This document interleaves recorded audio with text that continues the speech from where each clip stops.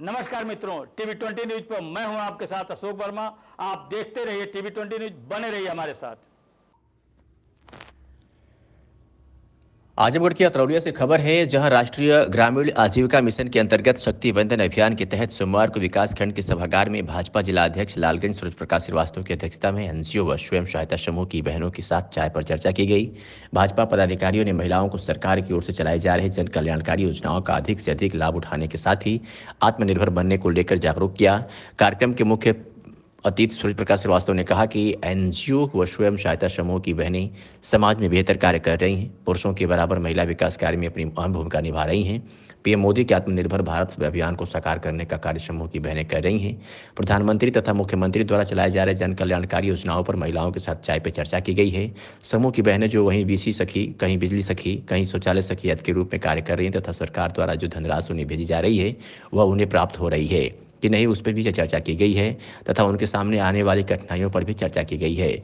महिलाओं के लिए लगातार सरकार काम कर रही है। आज आधी आबादी रोज़गार के लिए घर से निकलकर कार्य कर रही हैं। यह सबसे अच्छी बात है। कार्यक्रम की अध्यक्षता मंडल अध्यक्ष सुनील पांडे ने किया। इस मौके पर इंद्रजीत तिवारी नीरज तिवारी श्याम बिहारी चौबे धर्मेंद्र निषाद राजू रमेश सिंह रामदो रामू समेत अन्य लोग मौजूद रहे।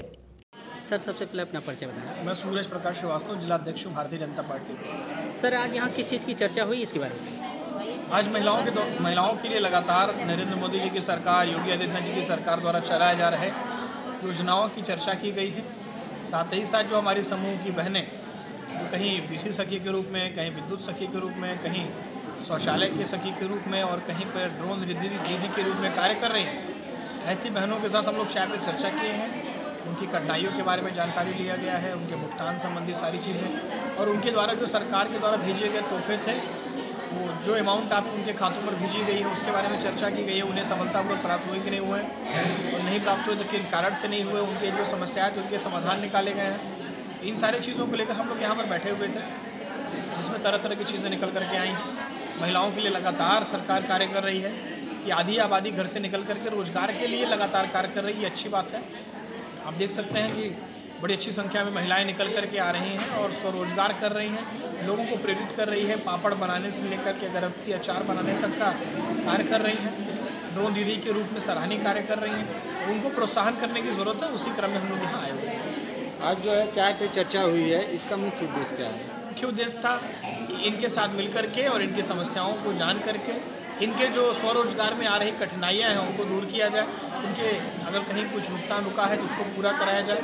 और नरेंद्र मोदी जी के द्वारा जो तोहफे इनको भेजे गए हैं वो चाहे सीआईएफ फंड के माध्यम से भेजे गए हों और चाहे इनको पंद्रह हज़ार की शुरुआती धनराशि देनी रही हो समूहों को चलाने के लिए वो प्राप्त हुई हैं कि नहीं हुई इसकी जानकारी लेना था। तो ये सारी चीज़ें हम लोग आगे जानकारी लिया कि इनसे चर्चा किया आज क्षेत्र की तमाम महिलाएँ यहाँ पे एकत्रित हुई हैं। इनके विषय में आप क्या कहना चाहेंगे? इनके लिए कहना चाहेंगे दुर्गा स्वरूपा हमारी देवियाँ हैं।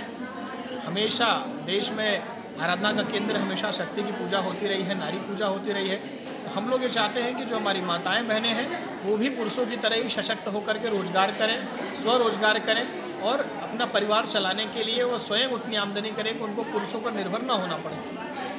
ठीक सर।